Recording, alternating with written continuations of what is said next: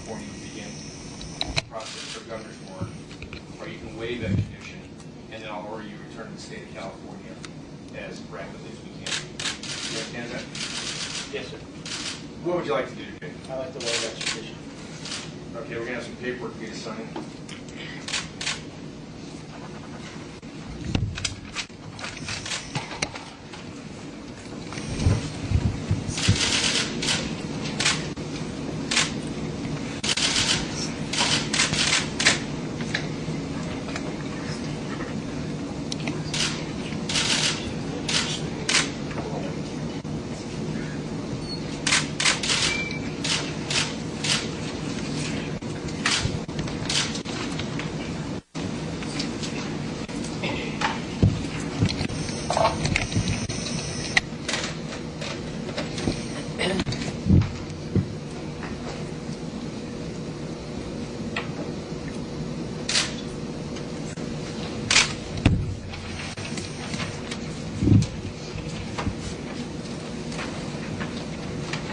Mr. Mehserle, you have executed the proper documents for the waiver of execution.